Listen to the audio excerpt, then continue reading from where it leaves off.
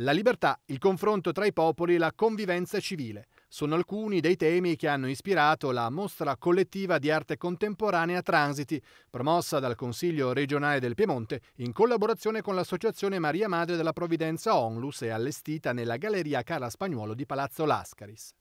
In esposizione opere realizzate da artisti italiani e stranieri a favore dell'associazione, che opera a sostegno delle famiglie degli anziani in difficoltà dal 1996.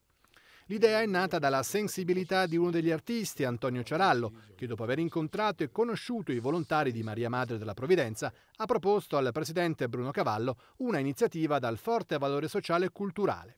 L'attualità si è così messa in mostra. L'attraversamento dei mari, l'accoglienza in una mensa solidale, la via d'uscita dal bisogno materiale e dal disagio. Storie personali che trovano forma e materia in opere che aiuteranno persone in difficoltà. Abbiamo coinvolto 31 artisti ai quali abbiamo chiesto di dipingere un'opera che riguarda questa problematica dell'immigrazione. Le opere che ci sono state donate rimarranno esposte a Palazzo Lascaris fino all'8 luglio e poi successivamente valuteremo con il Comitato Direttivo Nazionale di AMMP che cosa farne e come concretizzare queste opere in aiuti per le persone in difficoltà. Tre le sezioni, gli artisti dal mondo che raccoglie opere realizzate da chi ha toccato con mano l'esperienza della migrazione, le scritture dal mondo che dà sfogo ad una particolare ricerca segnica, transiti che dà spazio al paesaggio, interpretato anche in chiave astratta e figurativa come momento di spiritualità e di rinnovamento.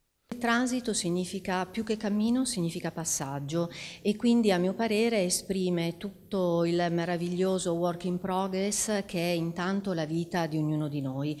Poi è inutile evidenziare che lo spostamento dei popoli sia diventato un'emergenza umanitaria, ma transito è interpretato dagli artisti di questa mostra anche in senso metaforico, il che significa che ho voluto che parlassero dell'affermazione dell'identità personale personale, del cammino di riconoscimento del proprio valore.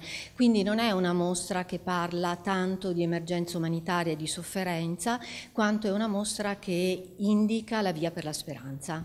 Un'occasione, come ha detto Daniele Valle, consigliere delegato dalla Presidente dell'Assemblea regionale, di riflessione sul tema delle grandi migrazioni e una opportunità per aiutare concretamente chi vive ai margini. Transiti a Palazzo Lascaris è aperta al pubblico dal lunedì al venerdì, dalle 9 alle 17 fino all'8 luglio. L'ingresso è libero.